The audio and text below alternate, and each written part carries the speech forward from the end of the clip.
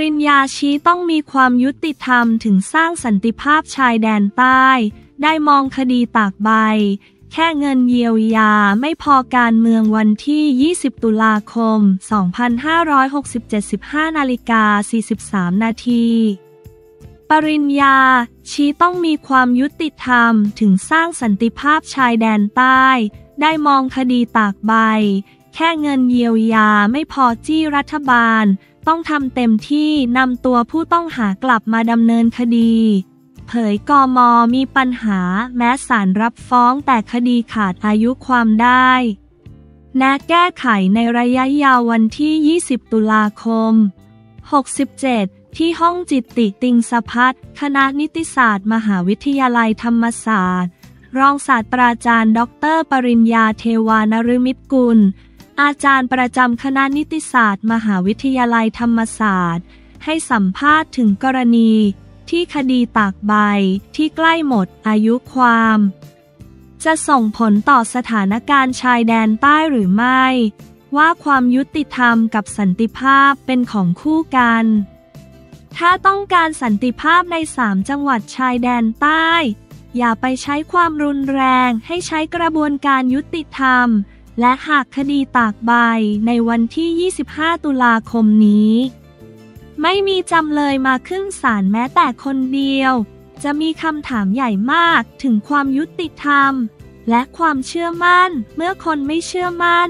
อาจจะไปใช้ทางอื่น ซึ่งต้องรอดูว่า รัฐบาลที่เหลืออยู่ จะทำอย่างไรรองศาสตราจารย์ ดร ปริญญา กล่าวถึงการที่รัฐบาลปล่อยเกียร์ว่างต่อคดีดังกล่าว จะส่งผลต่อการเจรจาสันติชายแดนใต้ว่า รัฐบาลไม่ถึงขั้นเกียร์ว่าง นางสาวแพทองทาน ชินวัตรนายกรัฐมนตรีก็ให้สัมภาษณ์ว่าเร่งรัดในกระบวนการต่างๆ แต่สำนักงานตำรวจแห่งชาติมีหน้าที่จับกลุ่มผู้ต้องหา และจำเลยตามหมายจับทางคดีที่จังหวัดนราธิวาสและจังหวัดปัตตานี ซึ่งเหตุการณ์ดังกล่าวนำคนซ้อนกัน4ถึง5ชั้นจำนวน 1,300 คน กับรถ 25 คัน โดยใช้ระยะทางกว่า 150 กิโลเมตร และใช้เวลา 4-5 ชั่วโมง โดยขณะนั้นเป็นช่วงเดือนรอมฎอนที่พวกเขาอดอาหารทำให้ขาดอากาศหายใจลำพัง เพียงเงินเยียวยาอย่างเดียว ไม่ได้สร้างความยุติธรรมได้ ซึ่งศาลจังหวัดนราธิวาสรับฟ้อง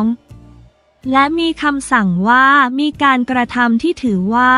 เจตนาเล็งเห็น ผลแม้ตอนแรกจะไม่ตั้งใจฆ่าให้ตาย แต่การขนคนลักษณะแบบนี้ ซึ่งทันทีที่รถไปถึงก็รู้ว่ามีคนตาย แต่ยังไม่สั่งหยุด จับได้หรือไม่เรื่องหนึ่ง แต่คุณต้องเห็นว่า รัฐบาลทำเต็มที่แล้ว เมื่อพ้นวันที่ 25 ตุลาคม ไปคนถึงจะไม่มีวิจารณ์รองศาสตราจารย์ ดร ปริญญารองศาสตราจารย์ ดร ปริญญากล่าวอีกว่า หลังคดีอายุความแล้วในแง่ตัวกฎหมาย เรื่องอายุความเรามีปัญหา แม้ศาลจะรับฟ้องแล้วที่จังหวัดนราธิวาสแต่คดีก็ขาดอายุความได้ทั้งที่รับฟ้องแล้ว เพราะเงื่อนไขที่จะไม่ขาดอายุความ คือยื่นฟ้องต่อศาลและนำจำเลยมาขึ้นศาลซึ่งปกติในประเทศอื่น ถ้าศาลประทับรับฟ้อง อายุความต้องสะดุดหยุดลง หรือหยุดอยู่ไม่นับเวลาต่อหรือนับเวลาใหม่ แต่ในประเทศไทย อายุความยังนับต่อไป ประเทศไทยจึงหนีจนขาดอายุความ ดังนั้นในระยะยาวมีแบบนี้หลายคดีทำเรื่องทุจริตคอร์รัปชันต้องแก้ในระยะยาวรองศาสตราจารย์ ดร ปริญญากล่าวว่า หากวันที่ 25 ตุลาคม ไม่มีตัวจำเลยมาขึ้นศาลเลย ต้องรอฟังศาลในวันที่ 28 ตุลาคม ศาลจะมีคำสั่ง และหลังจากนั้น ผลที่ตามมารัฐบาลจะต้องมีเท่าที่ออกมาว่า จะทำอย่างไรต่อ จึงต้องไปถามรัฐบาลรองศาสตราจารย์ดรปริญญากล่าวถึงกรณีที่นายภูมิธรรม เวชยชัย รองนายกรัฐมนตรี และรัฐมนตรีว่าการกระทรวงกลาโหม ให้สัมภาษณ์ว่าอย่านำคดีตากใบ มาโยงกับเรื่องการเมือง ว่าพลเอกพิสารวัฒนวงศ์คีรี อดีตสสบัญชีรายชื่อพัก เพื่อไทยลาออกจากพักเพื่อไทยไปแล้ว ประเด็นที่พูดอยู่ตอนนี้คือเรื่องของรัฐบาล และนายกรัฐมนตรี ซึ่งเป็นผู้บัญชาการของสำนักงานตำรวจแห่งชาติ ซึ่งหากทำในสิ่งที่คุณเห็นว่าทำเต็มที่แล้ว ต่อให้จับใครไม่ได้มาขึ้นศาลต่อให้อายุความขาดไป คนก็จะไม่โทษรัฐบาล แต่ถ้าในทางกลับกันคนรู้สึกไม่เต็มที่ หรือมองว่ามีการช่วยกันหรือไม่ รัฐบาลก็จะลำบาก และถ้าอายุความขาดไปรัฐบาลจะทำอย่างไรต่อ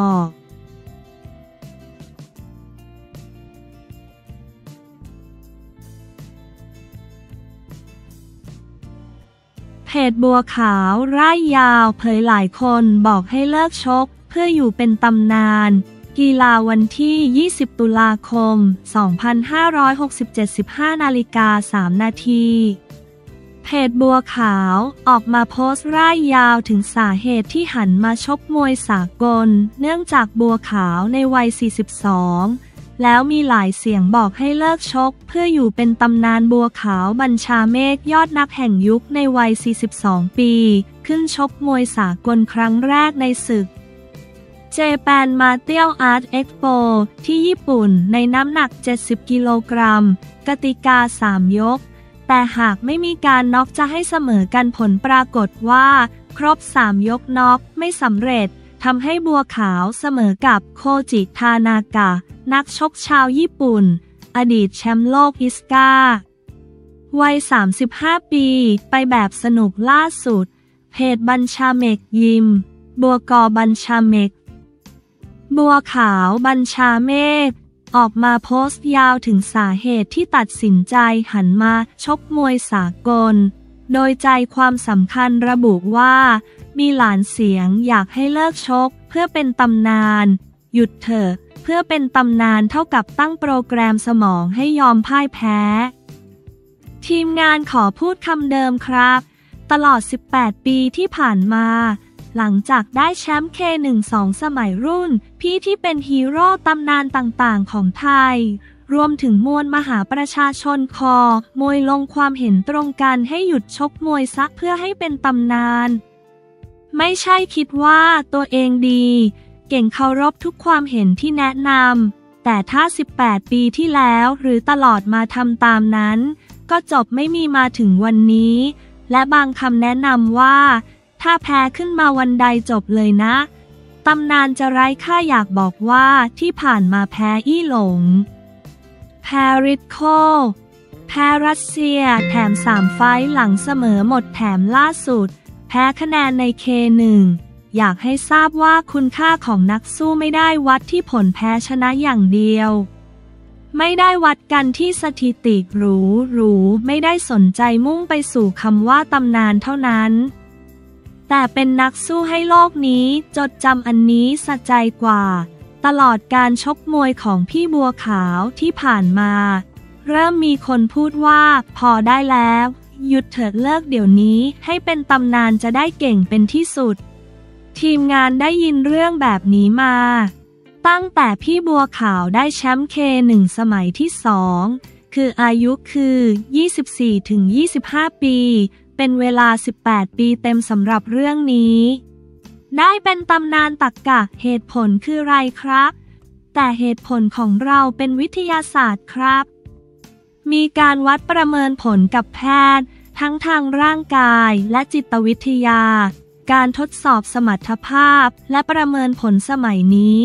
ความรู้ความก้าวหน้าทางวิทยาศาสตร์การกีฬามี และเอามาใช้ได้จริง ถ้าไม่ไหวผลการประเมินก็ออกมาเองครับ ไม่ได้ถึงกับไม่ฟังใครลากสังขารไปต่อยมวยมองอีกด้าน 18 ปีที่ผ่านมา ถ้าเชื่อและคิดตามข้อมูลเหล่านี้ จะเสียโอกาสต่างๆ ขนาดไหน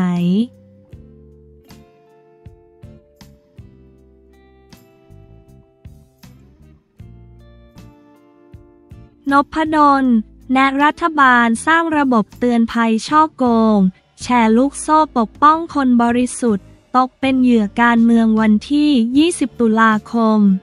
2567 14นาฬิกา 25 นาทีนพดลแนะรัฐบาลสร้างระบบเตือนภัยช่อโกง แชร์ลูกโซ่ปกป้องคนบริสุทธิ์ ตกเป็นเหยื่อเปรียบเหมือนระบบเซฟที คัดป้องกันไฟไหม้ บ้านวันที่ 20 ตุลาคม 67 นายนพดล ปัทมะ สสบัญชีรายชื่อพักเพื่อไทย พอท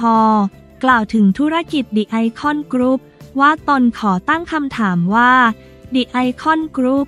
ซึ่งดำเนินการในลักษณะที่ถูกแจ้งข้อกล่าวหาว่า ช่อโกงประชาชนนั้น อยู่มาได้อย่างไร เป็นเวลาหลายปี จนสามารถทำให้ผู้คนไปซื้อสินค้า หรือลงทุน และเสียหายนับพันล้านบาทอีกทั้งมีคน ตั้งข้อสงสัยว่า การที่มีคนเกี่ยวข้องนับแสนรอดหู รอดตาหน่วยงานที่เกี่ยวข้อง จนทำให้เป็นไฟลามทุ่งแบบนี้ได้อย่างไร ทั้งที่ควรมีกลไกภาครัฐที่สามารถตรวจสอบ เฝ้าติดตามและแจ้งข้อมูลให้ประชาชนรู้ได้ว่า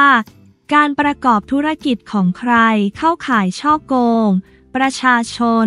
หรือแชร์ลูกโซ่หรือไม่ตั้งแต่เนิ่นๆ นายนพดลกล่าวต่อว่า ต้องขอบคุณรัฐบาลและหน่วยงานของรัฐ โดยเฉพาะเจ้าหน้าที่ตำรวจที่ได้ดำเนินการเรื่องนี้ แม้อาจจะช้าไป แต่ขอให้ดำเนินการตามกฎหมาย และข้อเท็จจริงอย่างตรงไปตรงมา ให้ความเป็นธรรมกับผู้ถูกกล่าวหา และทำความจริงให้ปรากฏ นอกจากนั้นควรหาทางเยียวยาผู้เสียหายให้ได้มากที่สุด เพราะเป็นคนที่น่าสงสาร แต่ประเด็นสำคัญที่ตนขอเสนอคือ รัฐบาลควรสร้างมาตรการป้องกันเชิงระบบที่ยั่งยืน โดยให้ผู้เกี่ยวข้องไปคิดค้นระบบเตือนภัยการช่อโกงประชาชน และแชร์ลูกโช่ล่วงหน้า เพื่อตัดไฟตั้งแต่ต้นลม เช่น การสอดส่องการจดทะเบียนของบริษัทต่างๆ การประกอบธุรกิจขายตรง หรือเข้าขายแชร์ลูกโซ่ เป็นเสมือนอุปกรณ์ Safe-T-Cut ที่ป้องกันไม่ให้ไฟไหม้บ้าน แต่ครั้งนี้เพื่อป้องกันไม่ให้ประชาชนผู้บริสุทธิ์ ต้องตกเป็นเหยื่อกระบวนการในลักษณะนี้อีกในอนาคต ซึ่งหลายประเทศเขาสามารถทำได้ ผมมองว่าถ้ามีระบบเตือนภัยจากการช่อโกงประชาชน และแชร์ลูกโซ่ จะช่วยปกป้องผู้บริสุทธิ์ และทำให้ชื่อเสียงของประเทศไทย เป็นประเทศที่ปลอดจากการช่อโกงประชาชน กลุ่ม call center ซึ่งสอดคล้องกับแนวแนวคิดสร้างไทยให้ปลอดภัยในทุกด้าน นายนพดลกล่าว